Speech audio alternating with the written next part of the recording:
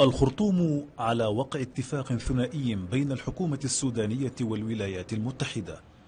الاتفاق يمكن السودان من الحصول على حصانته السيادية بعد خروجه من قائمة الدول الراعية للإرهاب.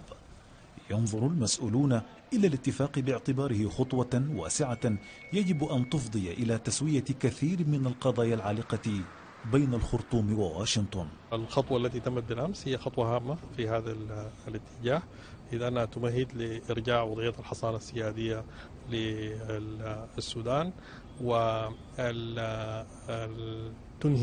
التسوية القانونية في القضايا المتعلقة بالإرهاب التي كان تلاحق بها الدولة السودانية في المحاكم الأمريكية بصورة نهائية. الاتفاق فتح الباب أمام تساؤلات عن فعالية الإجراءات في إخراج السودان نهائيا من قائمة الإرهاب وعن الخطوات التالية لإتمام المهمة.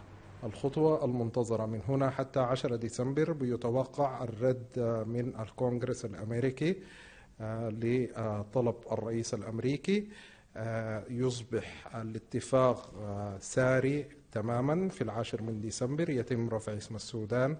من قائمة الدول الراعية للإرهاب يتم الصرف للمتضررين مباشرة من الحساب بعد أن رد بعد أن يرد الكونغرس ويمنح السودان الحصانات السيادية.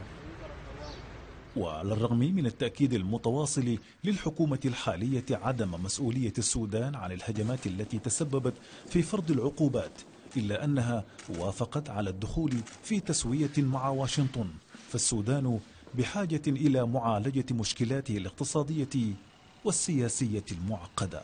استعاد السودان حصانته السيادية كما يقول وأصبح بإمكانه تسوية القضايا المرفوعة ضده في المحاكم الأمريكية بعد اعتماد الكونغرس لتلك الاتفاقية. وهذا يعني عمليا خروج السودان من قائمة ظلت تكبله لثلاثة عقود. عقود انتهت ولكن بعد أن وافق السودان على التطبيع مع إسرائيل. نزار البغداوي العربي.